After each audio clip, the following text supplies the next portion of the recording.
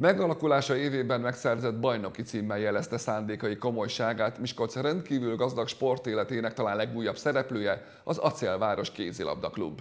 A férfi bajnokság megnyerése után tehát a 2021-22-es szezon már az MB2-ben kezdi meg a korábbi Miskolci, illetve megyei csapatokból, valamint Miskolci fiatal tehetségekből álló együttes.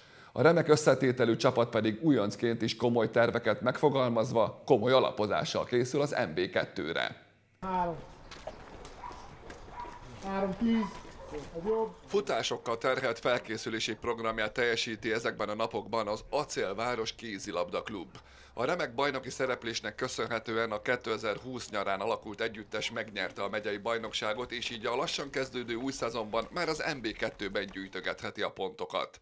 Mint azt majd hallani fogják, ebben a szezonban erős bajnokság vár majd a csapatokra, lesznek megerősödő riválisok, és lesz a bajnokságban egy ambíciózus Acélváros KC is komoly tervekkel.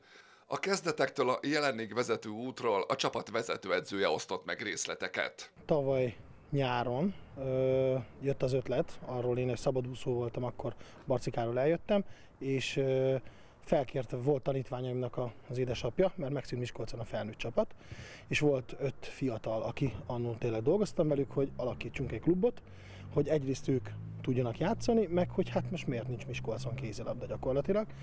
És én természetesnek vettem ezt, hogy hát hogy ne, hát itt vagyok, szabad vagyok, dolgoztam is velük, szerettük volna, és akkor innen indult el ez. Szépen kezdtük összerakni a csapatot, és így születtünk meg mi gyakorlatilag.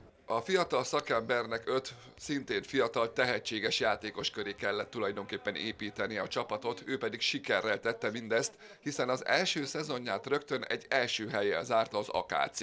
Kerestem volt csapattársakat, akik borsodi illetőségek voltak, miskolciak, ózdiak, tehát akikkel játszottam, már visszavonult játékosok, és én segítséget kértem tőlük, hogy az lenne a cél, hogy itt éljen a kézilabda, a fiataloknak teremtsük meg a lehetőséget azzal, hogy mi megnyerjük a bajnokságot, egy osztálya feljebb lépünk, mert lássuk be azért a megye az minden, a legalsó szint az, az azért kevés, és ők jöttek, gyakorlatilag a segítségemre voltak ebből, és akkor így volt az, hogy ezt a tavalyi bajnokságot ezt sikerült megnyernünk, három pont előnyel, és uh, itt van az MB2.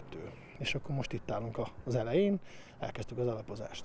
Az aktív játék után immár csak vezetőedzőként tevékenykedik Kocsis Csaba, csapata pedig még nem teljes, terveznek még igazolásokat, hiszen az MB2 azért már más szintű kihívás elé állítja majd az együtteseket ezért egy 6 hetes felkészülési programot is teljesítenek a játékosok. Egy-két ember várható, de a fiúk elkezdték az alapozást, tisztessége, becsülettel dolgoznak, hál' Istennek. Egy, egy szűk alapozás, de arra elegendő, amire mi szeretnénk, heti három edzéssel, és most jönnek gyakorlatilag, hát elég korai viszonylag, de ugye a 6 hét miatt beszűkül, hogy már rögtön a második edzésen direkt úgy tettük az edzésre, meg volt az a fizikai álló képesség.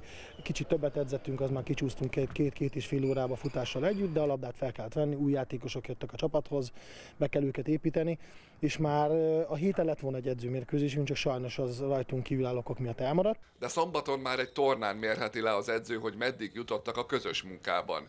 De természetesen zajlanak még tárgyalások további felkészülési találkozókról is. Én úgy vagyok vele, hogy egy fél szezonnyit le kellene lapozáskor játszani, de az, ha nem is sikerül, de egy ilyen 5-6-8 meccs, nem tudom, ahogy alakul gyakorlatilag, azt le kell játszani. Reméljük, hogy nem fog gátolni semmi minket ebben. Amennyiben a szakvezetésnek sikerül minden olyan játékos leigazolni, akit terveztek, valamint azt a tényt is szem előtt tartva, hogy munka mellett kézilabdáznak a játékosok, milyen célkitűzést fogalmazott meg a vezetőedző? Átalakulóban van a kézilabda, tehát gyakorlatilag ugye 12 csapatos bajnokság, és stabilan a 8-ba kellene lennünk, mert hogy átalakítják az osztályokat, tehát egy másodosztály lesz, és így tovább szűkülnek, ezért ugye peregnek le csapatok. Úgyhogy ezért kutya kemény bajnokság lesz. Tehát tudni kell, hogy a Nyíregyházi csapat a másodosztályból, amikor kiesett, akkor ők gyakorlatilag nem jöttek le ebbe az osztályba, hanem szétperegtek egy az egybe, és azért bizony egy 16 fős brigád szétozták itt a Hajdúság és a Szabolcsi csapatok között, az bizony erősítés jelent mindenkinek. Úgyhogy én óvatos duhaj vagyok, tehát én, én mindig egy meccsre készülök, és stabilan benne szeretnék lenni a csapattal. Én azt mondom, hogy azt a, azt a középmezőnyt, a középmezőnek az elejét szeretnénk kitűzni, de majd talán az edzőmérkőzéseken ez lesz. A mentalitást én szeretném a srácoknak átadni, ami engem is jellemzett, amit tudok, hogy elegendőnek kell lenni, amit másoktól is tanultam, úgyhogy csak óvatosan, de, de egy jó kis kis csapatot tervezek. Hallgassuk meg mindezeket a játékosok szemszögéből is. Jó összetételű csapatot alakított ki a klubvezetés, ugyanis a rutinos, nagy tapasztalattal rendelkező játékosok mellett tehetséges fiatalok megfelelő arányban vannak jelen a keretben. Mint azt majd hallani fogják, megvan az is, ami talán a legfontosabb a csapatjátékokban. Jó szellemiségű játékosok igyekeznek megvalósítani az eltervezetteket. Nagyon kevesen vagyunk, akik játszottak együtt, figurákat gyakoroljuk, mert azért már most nincs, sok van még hátra, de azért sok idő lesz, hogy összecsiszolódjunk. Egy még alakuló keret esetében extra odafigyelést igénylő nehézség, vagy ellenkezőleg egy remek lehetőség az, hogy sok új játékos dolgozik most a keretben. Vannak nehézségei, de az jól is alakult. Azért sokan megmaradtak a tavalyi csapatból, páran jöttünk úgymond erősítésként, hát reméljük jól fog alakulni. A piros mezesek között szélsőként látható játékos Ózdról érkezett a Miskolci csapathoz.